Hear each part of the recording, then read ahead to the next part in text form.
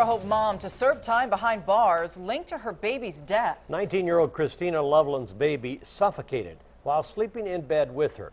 Now, while sharing a bed with a new baby is not a crime, officials say there is more to this case, sending her to prison. News 10's Amanda Jarrett was in the courtroom today. She joins us now live with details on this case. Amanda?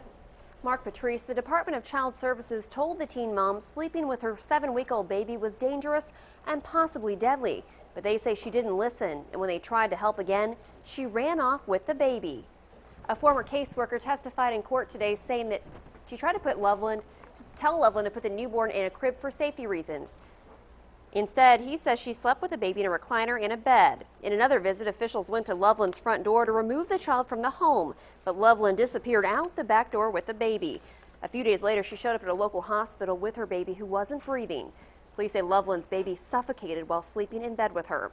They say it wasn't co-sleeping that put her behind bars, but repeated warnings from Child Services about the dangers. Not only that, Loveland was also under the influence of illegal drugs at the time.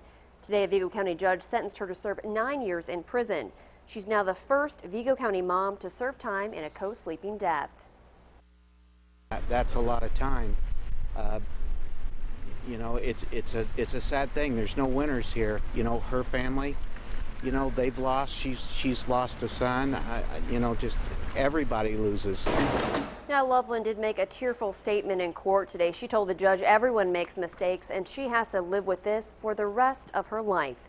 The judge ordered Loveland to take parenting classes and abuse counseling while in prison. Back to you.